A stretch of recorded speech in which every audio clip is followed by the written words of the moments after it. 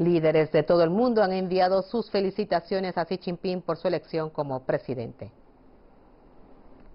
El presidente ruso Vladimir Putin ha dicho que el resultado de la votación es un reconocimiento a las contribuciones de Xi al rápido desarrollo económico y social de China, así como una forma de proteger los intereses de China. El presidente vietnamita Tran Dai Quang ha dicho que cree que Xi liderará al pueblo chino para lograr construir China como un próspero, democrático, civilizado, armonioso y bello país socialista modernizado y para hacer contribuciones a la paz, la estabilidad y la prosperidad regionales y mundiales.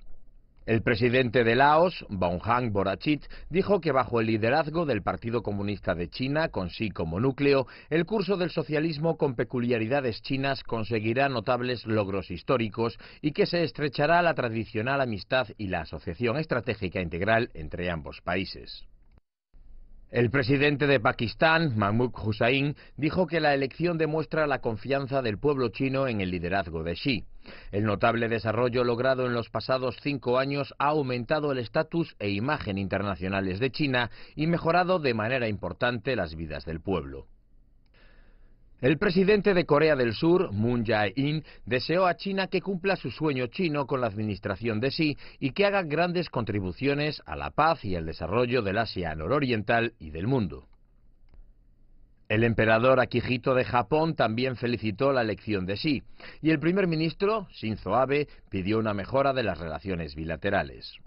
El presidente de Maldivas, Abdullah Yamen, dijo que la elección de Xi refleja la confianza de la mayoría del pueblo chino en sus esfuerzos por conseguir las dos metas centenarias y el sueño chino, y que bajo el brillante liderazgo de Xi, China conseguirá mayores logros en su desarrollo y llevará más oportunidades a varios países para conseguir un desarrollo común.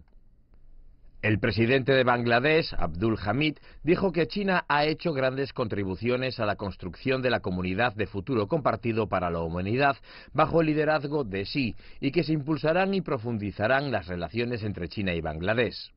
La primera ministra de Bangladesh, Sheikh Hasina, dijo que China, bajo el sabio y visionario liderazgo de Xi, ha cosechado logros notables y que su país espera fortalecer la cooperación con China en varios campos. El presidente de Kazajistán, Nursultán Nazarbayev, dijo que la elección demuestra completamente el alto respaldo del pueblo chino a las grandes contribuciones de sí para salvaguardar los intereses nacionales. China obtendrá nuevos logros bajo el liderazgo de Xi y la asociación estratégica integral entre ambas naciones continuará su desarrollo de alto nivel con esfuerzos conjuntos por ambas partes.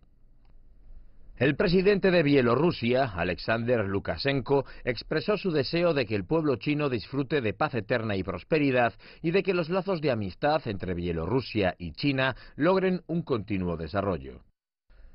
El presidente de Georgia, Georgi Marvel-Savili, dijo que el brillante liderazgo de Xi traerá seguramente mayores desarrollo y beneficios a la nación china y que habrá una profundización en la tradicional amistad y cooperación entre Georgia y China.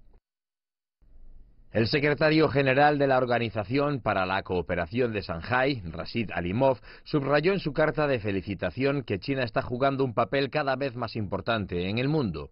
Destacó la iniciativa de la Franja y la Ruta y el concepto de la construcción de una comunidad de futuro compartido para la humanidad, los cuales fueron ambos impulsados por sí y se han ganado el amplio reconocimiento y la positiva respuesta de la comunidad internacional.